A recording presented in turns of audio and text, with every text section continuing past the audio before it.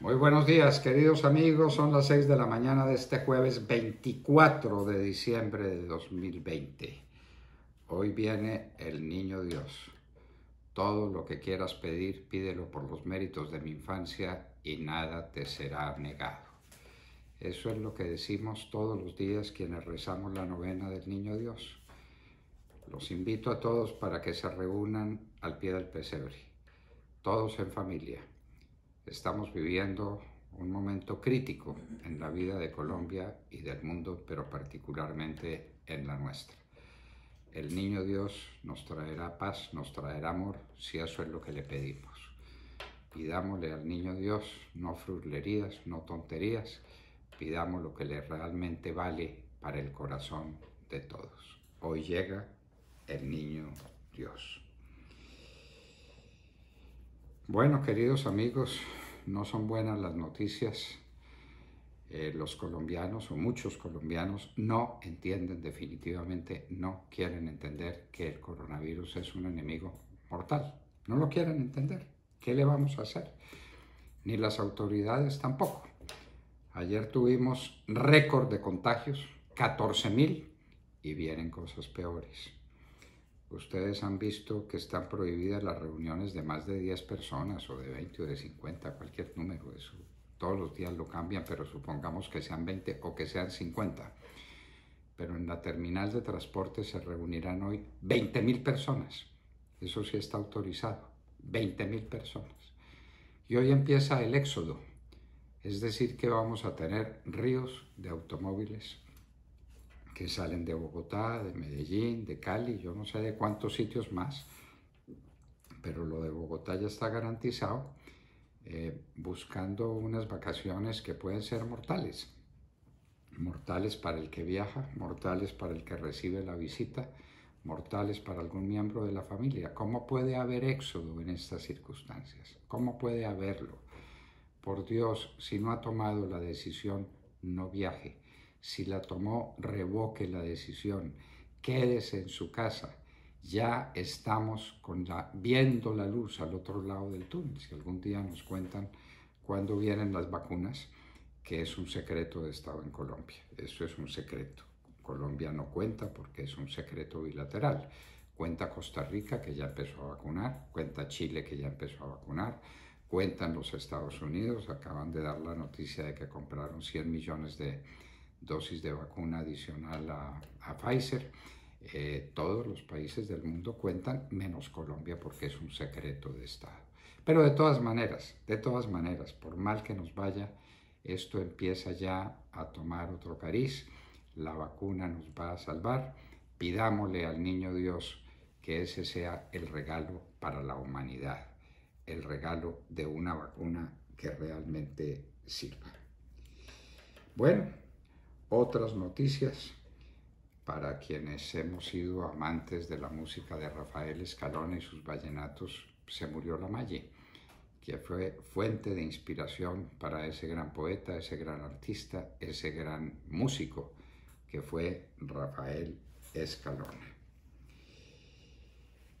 Eh, les decíamos que a Chile ya llegaron las vacunas de Pfizer, 10 millones de vacunas y 10 millones de Sinovac. Y Chile no tiene la tercera parte de la población de Colombia, por ahí estará si acaso en la tercera parte de la población, y ya tiene 20 millones de vacunas y sabe dónde las hubo. En Francia, y esta noticia eh, tiene conmovida a Francia, asesinaron tres policías fueron a un caso, tenían que defender a una mujer, fueron a defenderla y un loco, dicen que un loco, los cogió a disparos, mató a tres, eh, la policía reaccionó, lo persiguieron, el hombre terminó muerto, una verdadera tragedia. Bueno, queridos amigos, ¿qué pasa con el salario mínimo? Lo que tenemos son unas declaraciones muy infortunadas del ministro del trabajo no tienen ni idea dónde está parado. El 27 o el 28 mm, sabremos cuál es el salario mínimo. Todos quisiéramos que los colombianos que trabajan por el mínimo ganaran muy bien. Todos quisiéramos. El problema es que no hay de dónde. El problema es que es imposible, los empresarios ya no dan más. Y no se les olvide que el salario mínimo en Colombia es una ficción, porque con los llamados parafiscales o con los costos adicionales que el empresario asume, el salario no es un salario, sino salario y medio. Esa es la realidad del salario colombiano. En los Estados Unidos ya se completó la suma de un millón de vacunados. Tienen que vacunar 200 millones, pero ya vacunaron un millón y están empezando y celebraron contratos que no son confidenciales como los de acá. Dicen que la nueva cepa de coronavirus que apareció en la Gran Bretaña y que es mucho más agresiva en su transmisión, de mucha más rápida transmisión que la cepa original, eh, ya está en los Estados Unidos y que venía en los Estados Unidos desde el mes de noviembre. Eso es lo que dicen algunos científicos. En esto todo el mundo está adivinando. España recibirá 4,5 millones de dosis de Pfizer otro contratico que tiene Pfizer, España lo revela, allá eh, no hay acuerdos bilaterales secretos. El presidente Trump veta proyecto de gastos de defensa.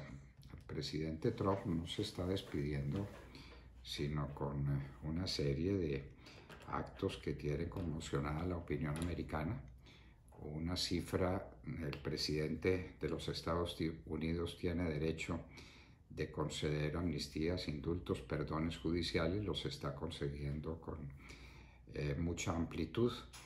Eh, vamos a ver si se le ocurre amnistiarse él mismo de por vida como lo hizo Putin. Él dirá, si Putin pudo, yo por qué no pude, no, ¿por qué no puedo?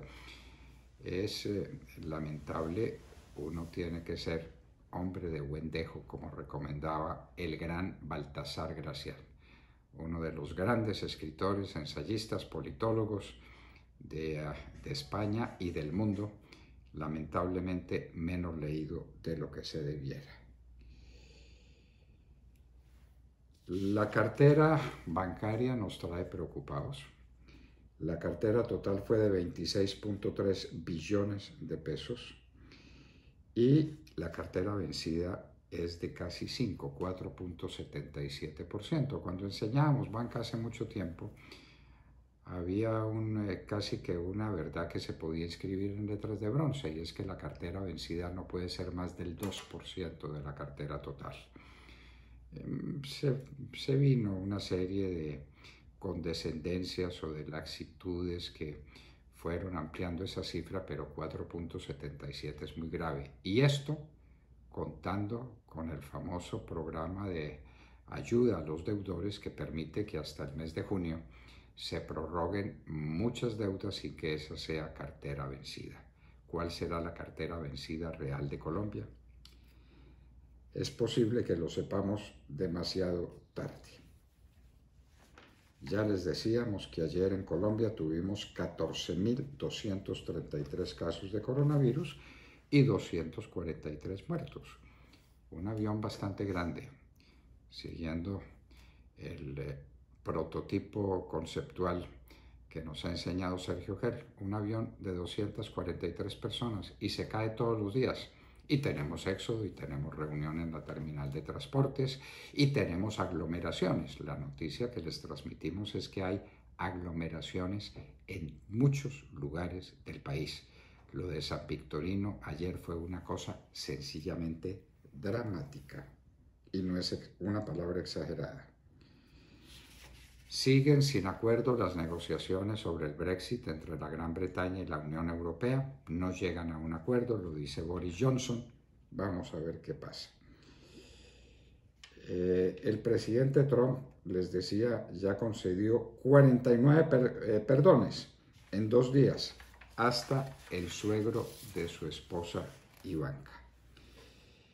Asesinado Andrés Felipe Guevara en Cali, un periodista de Q, muchacho de 27 años, ya había sido amenazado, había habido disparos al frente de su casa, no tenía protección y ahora las autoridades dicen que fue por asuntos personales. Aquí los periodistas que se mueren se mueren por asuntos personales. Todavía no han dicho cuál era el asunto personal que yo tenía cuando me pusieron la bomba que mató a mis dos escoltas a quien todo el mundo ha olvidado y me dejó con vida porque Dios quiso que siguiera con vida. Plan éxodo en todo el país. No entendimos. Costa Rica inicia vacunación esta Navidad. Ya hubo acuerdo entre Londres y París para los camioneros.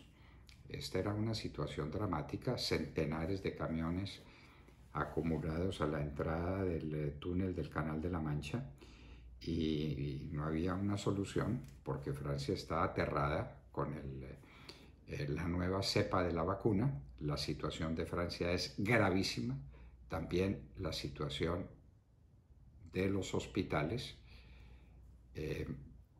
tal vez dije algún disparate. La nueva cepa de la vacuna. ¿Perdón? La nueva cepa de la vacuna. Dije cepa de la vacuna, nueva cepa del coronavirus. Eh, contra esa nueva cepa estamos eh, tratando de luchar. Esto es científico, queridos amigos. El tapabocas bloquea todas las gotillas que transmiten el coronavirus. Los científicos dicen que el 99.99% de esas gotillas, por no decir el 100% porque puede haber algún accidente. Por Dios, tapabocas, pero bien puesto, no en la quijada. El tapabocas no es tapabocas, sino tapanarices y bocas. El COVID se transmite por el aire en la inmensa mayoría de los casos si se va a reunir con alguien, si tiene que hacer una cita o si va a cometer la locura del éxodo, por lo menos use tapabocas. La Universidad Autónoma de México sacó un estudio que lo llevó a la conclusión de que los muertos en México son entre dos y cuatro veces los que se reconocen en las cifras oficiales.